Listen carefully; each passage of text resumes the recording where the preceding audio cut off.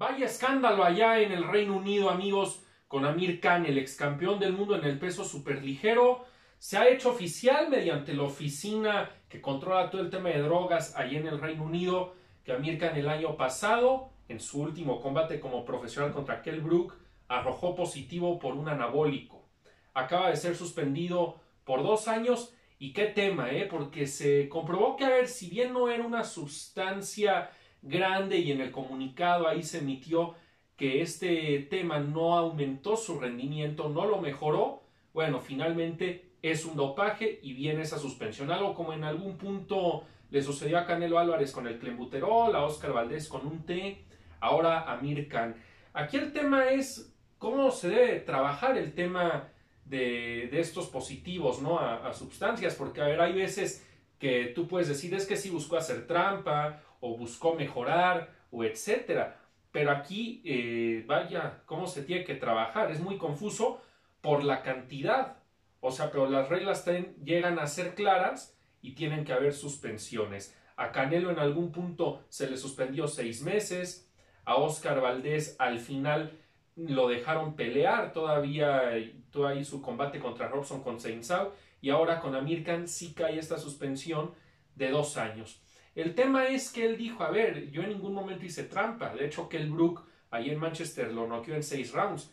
Y él dijo, tuve una muy mala pelea, o sea, para nada se acerca a una buena presentación si me noquearon así.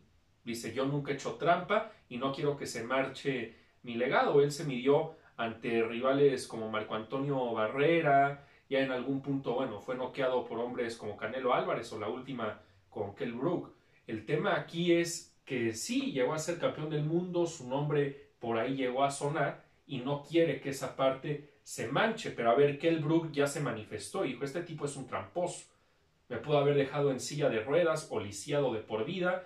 Incluso se fue con todo, o sea, más allá y dijo, a ver, este es un deporte donde si lo vemos fríamente puedes matar al oponente de una forma legal. Y aquí intentó hacerme daño y eso no se debe de permitir. Además, bueno, ahí dijo que lo humilló, le pudo dar una paliza y que con eso tendrá que vivir toda su vida a Mirkan, pero que es un sucio. Entonces, bueno, viene esta parte de nota negra, o sea, no lo puedes definir de otra forma, que el Brook siente que le quisieron hacer algo más allá de lo deportivo. Recordemos eh, igual cómo se expresó Miguel Ángel Cotto con Antonio Margarito cuando el tema del yeso y mucho más. Creo que es algo muy delicado y a ver, bien, esta suspensión, lo que parece un tanto descarado, ¿no? Este es lo que dice Amir Khan. Dice, a mí me parece hasta cómico porque yo ya estoy retirado, 35 años y estoy fuera, me suspenden dos años, mm, ya estoy del otro lado.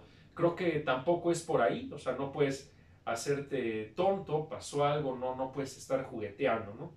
Pero aquí vamos a ver qué precedente se marca, porque yo no sé, o sea, uno tiene que buscar algún experto o entender este tipo de temas para sustancias para poder llegar a una conclusión de si te mejora el rendimiento o no. Porque, a ver, yo insisto, con Oscar Valdés eh, lo dejas pelear que porque un té y no sé qué, pero a Canelo sí lo suspendiste y a Mirkan también. Entonces, es muy complicado. Pero sin duda, son temas que manchan porque, a ver, porque ahí ganó Brook, porque no pasó a mayores. Ahora imagínense, y te lo decía Mirkan, o sea, no quiero que se anche legado porque perdí. Ahora, si hubiera ganado la pelea, lo que no estaríamos diciendo ahorita, si hubiera sido un knockout brutal sobre Kell Brook, en estos momentos estaría armando un escándalo peor. O sea, porque ahí así dirías que estuvo en juego la vida de, de un peleador y sí sacó ventajas físicas y se viene todo un tema. Pero creo que se tiene que trabajar en eso y ya háganos saber ustedes en las conclusiones si se tiene que manchar el legado de Amir Khan o creen que son a lo mejor sustancias que no abusó de más. Recordemos, esto fue positivo después de una pelea ahí en una prueba de orina. Amir Khan, ¿qué opinan de él?